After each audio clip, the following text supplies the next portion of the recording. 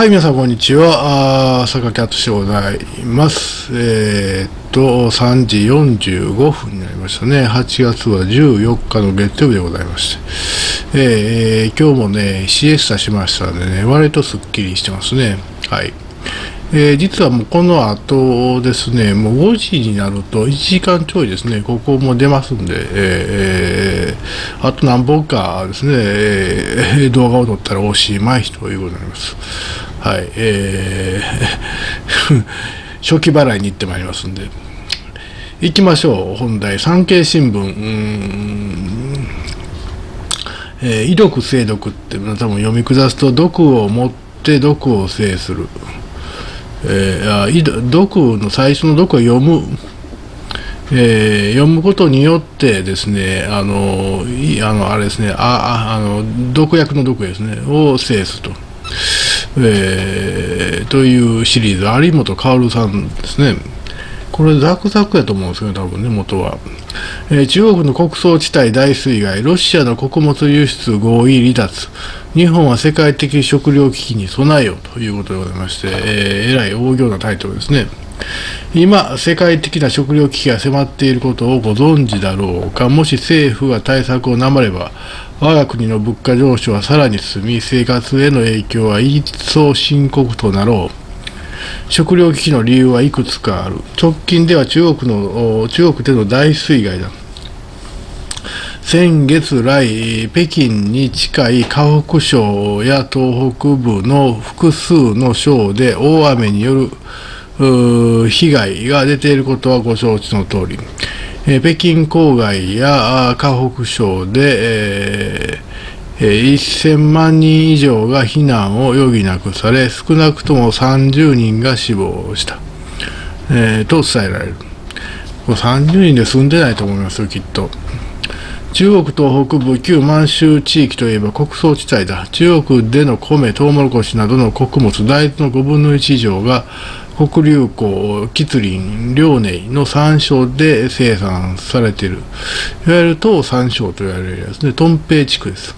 えここも水に使ったのだ余談だがこの100万人規模の避難は北京を守るための措置だと日本メディアは伝えた。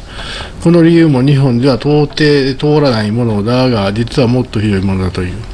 筆者が主催するネット番組ニュース生放送朝8時。に9日出演した評論家の関平さんによれば北京ではなく習近平国家主席のメモメンツを守るために100万人が避難させられ多くの集落が水没したと言ってもう言って過言でないとのこと。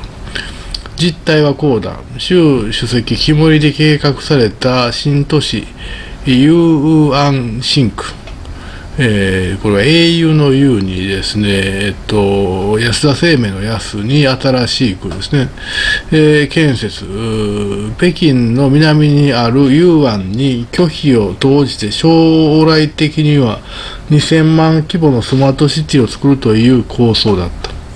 しかしこれには専門家から懸念の声が多く寄せられていた。雄安は海抜が低く、水の流れ込みやすいところ、洪水のリスクが高く、大都市建設には適さないというのだ。その懸言を習氏は聞かず、雄安新区構想を推し進めた。今回の大規模避難は今で、未だできていない雄安を守るため決行された。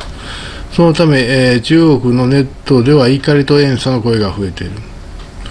ようわかりませんね。雄安を守るために、ね、100万人避難させた。うん。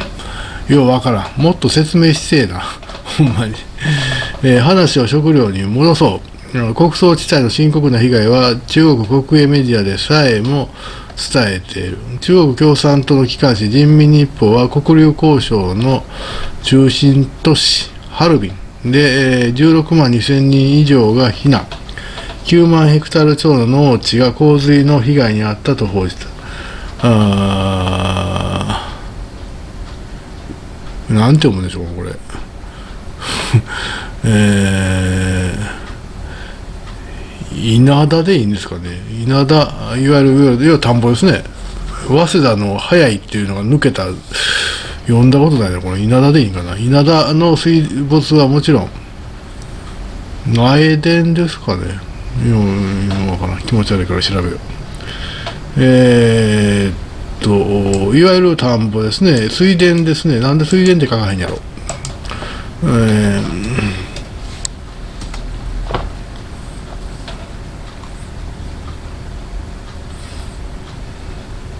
稲田朋美の稲田ですけどね稲田稲田ですよね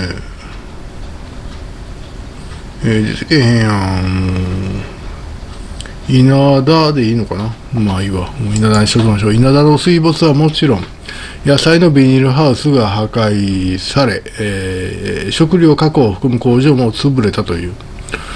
あの台風がね2個行っただけなんですよ。それでこんなになるんですね。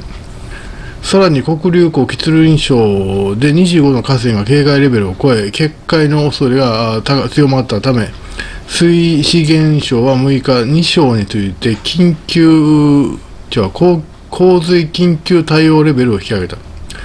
えっとね、えっと、位置関係を あの言葉で説明しておきますと、朝鮮、北朝鮮の上にですね、の中国の満州があるんですけど、そのですね、左半分がですね、遼寧省でございます。これ、リャオトン半島につながります。で、右半分が吉林省というところでございます。その上に乗っかっているのが黒竜交渉でして、これはですね、あのソ連との国境、ロシアとの国境につながるエリアでございます。その黒竜交渉の左側がですね、旧満州の中でもですね、内モンゴル自治区というところになります。えー、いわゆるモンゴル人のエリアなんですけど、今はモンゴル人迫害されてほとんどいなくなってですね、ほとんどあの漢民族が住んでますけど、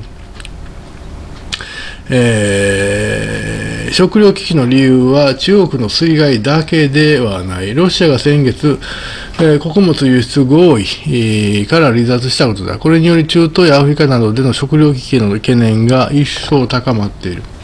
しかも中東、アフリカなど途上国への打撃にとどまらず、世界の食料価格の高騰リスクともいえ、日本への影響も十分考えられる。理由の第3はエルニーニョなどの異常気象と。まあ、以下が続きますね。はい、ちょっと最後行きましょう。飛ばします。そもそも日本は危機の際、特定の物資を輸出禁止にする手立てがないことは、コロナ禍初期のマスク不足で立証済みだ。今こそ食料安全保障を基本から論じ、えー、迅速に対策すべき時だと。有本香織さん。あ1962年って私と同い年ですね。奈良生まれ。東京外語大卒で優秀ですね。旅行雑誌の編集長や企業広報を経て独立、国際関係や日本の政治をテーマに取材執筆活動を行うと。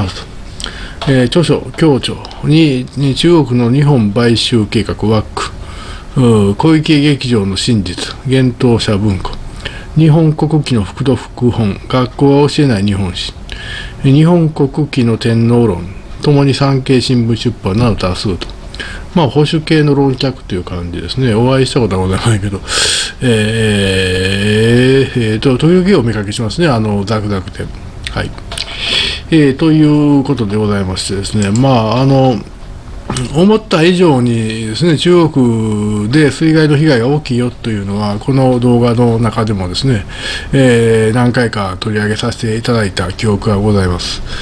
あの中国ってあの食糧危機に割と敏感なんですね。で、えっ、と、巨大なサイロを作ってですね、あの食料を溜め込んだりしてるんですけど、あの巨大なサイロはですね、水浸しになってと腐ってしまいますけどね、どうしたんでしょう。